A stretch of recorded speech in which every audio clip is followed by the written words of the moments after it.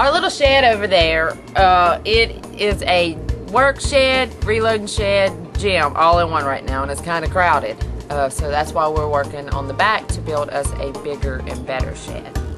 The good thing about being married to somebody like Heather, or a girl like Heather, is that she's good and strong. So, I mean, yeah, she likes to go shoot the guns and blow things up fish and stuff. But whenever I need a carpenter, you know, she can carry the lumber for me and nail the nails. Basically, I just sit here and tell her what to do, you know, and she does all the manual labor because, you know, I got a bad arm and I can't do a whole lot of stuff like that. She's the muscle. You know, I'm the, I'm the brains. Jeff, you need to go cook supper, okay? I got this. I'm the brains and she's the muscle. So, right, honey? you look busy.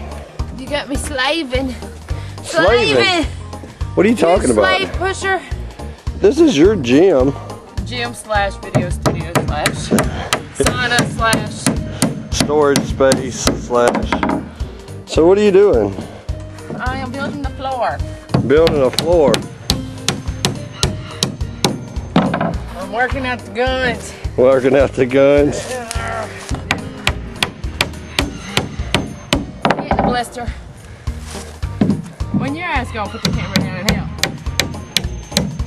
Yeah, no, I done done my part. I carried the wood over here. You put the nails in.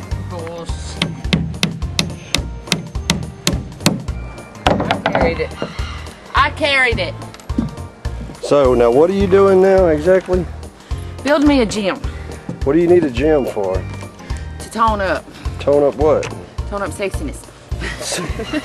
Tone up sexiness.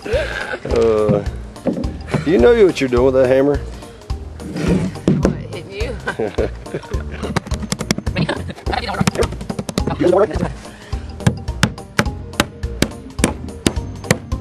Look at me show off for the camera. Like Did you mi- did you miss the board? I mean, did you miss your uh? No.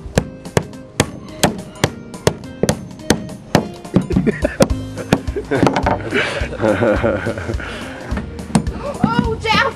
What? Oh, You might want to pull that one. Try a different. It was crooked when I put it in there. It was I didn't do that. Uh, it crooked over like that. Pull it. Uh, there you go. That's